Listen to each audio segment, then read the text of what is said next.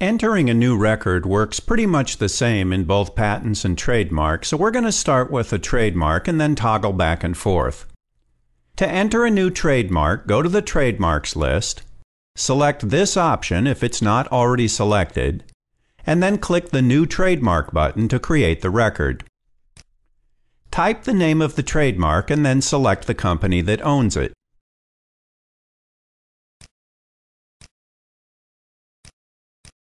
The company information appears, and since we assigned a contact at the company to a default position, the contact is already added to the record.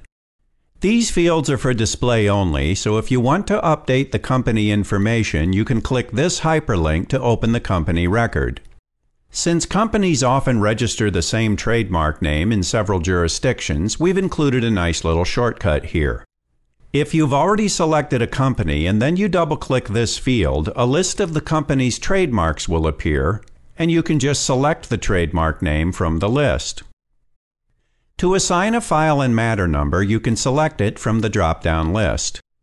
If the number you need isn't already in the list, you can edit the company's file and matter numbers by clicking this hyperlink.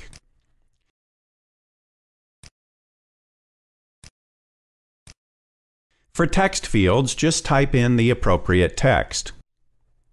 And for these other fields, you can make selections in the drop down lists. If a drop down list doesn't include the value you're looking for, then you can edit the table that populates the list by clicking the hyperlink. So if you want to look at the list of jurisdictions, you would click here. As you can see, you can tell the system that a jurisdiction applies to trademarks or patents or both.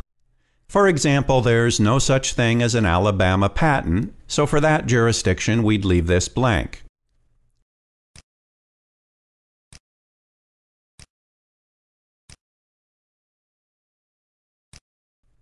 In patents, you can enter both a national application and an international application number. To add classes to a trademark, just select them from the drop down list.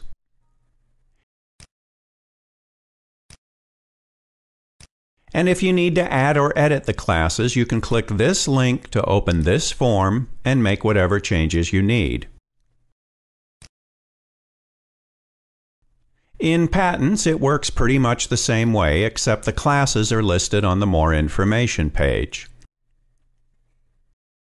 Depending on how you've set up the date template for this particular jurisdiction, you might start getting dates showing up here after you've entered the jurisdiction, the filing basis, or the status of the trademark. When we cover date templates later, you'll see why that happens. In patents, the dates that appear depend on the jurisdiction, the patent type, and the status.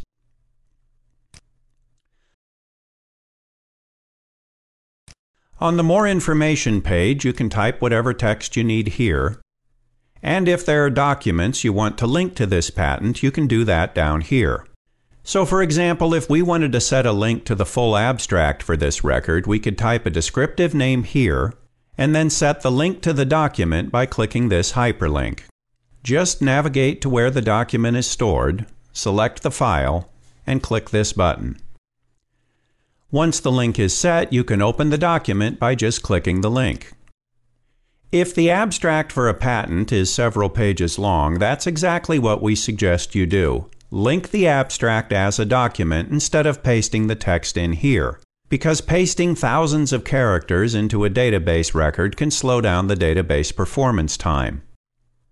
The document links, by the way, don't have to be Word documents. You can set a link to a PDF or a spreadsheet or any other type of file.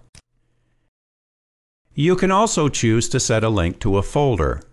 If you check this box before setting the link, you're telling the system to navigate to a folder instead of a file. So we'll give this link a descriptive name, click the same hyperlink to start navigating, and then select our folder. Now if we click the hyperlink here, the system will open the entire folder. If other companies have decided to license the patent, you can enter that information here by selecting the company from the drop-down list.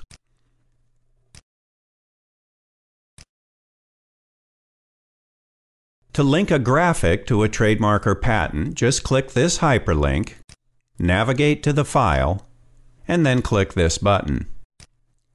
If the graphic you've selected is too big to fit inside the graphic window, you can click this option to resize the display. And once you've set a graphic here, it will also show up on the trademark record if you open it as a report.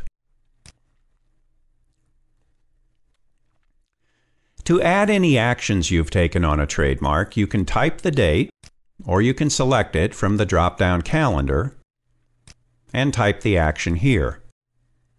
This works exactly the same in both patents and trademarks. If you check this box, you're telling the system you want this action to show up in your list of alert dates. We'll come back to the alert dates when we show how to set up alerts. If you check this box, you're telling the system that this action was completed, which is important to know if you did in fact select this action as an alert. If you want to add contacts to a record who weren't added automatically, then come down here and open the drop-down list.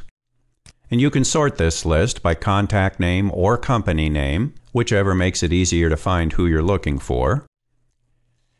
And after you've selected the contact, you can select the position here.